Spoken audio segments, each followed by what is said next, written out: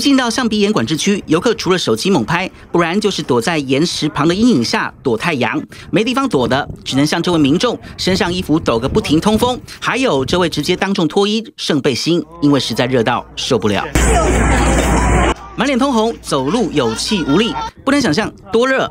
靠海边都这么热，陆地上更是不用多说。然而艳阳下，只见路口处排队人龙一长串，动也不动，人人汗流浃背。好一点的还有把伞撑着，没伞的只能咬牙继续撑。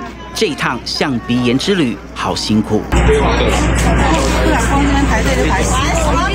啊，只只能一百个。哦原来腹地宽阔的象鼻岩，防疫需求每次只能让一百人进入，这下可好。当天接近中午，排队人龙至少已经有三百位，平均每人得排上半小时甚至一小时才能进入，差点被烤成人干，一肚子火。职业管理单位非得这么不通人情吗？那规定一百人，并不是一定是百分之百都要一百的，因为有时候你看那个人流人潮哈，而且地区很大的时候，你尽量在潮一个可以管控底下安全无虞的底下，再做适度的人潮的调整，因为不是硬邦邦。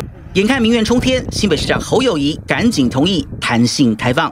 然而，这是考量地广，没有这样条件的。当烈日曝晒和防疫控管冲突下，民众想要出外踏青，恐怕还是得要多担待。这朱立荣、人静宇集中报道。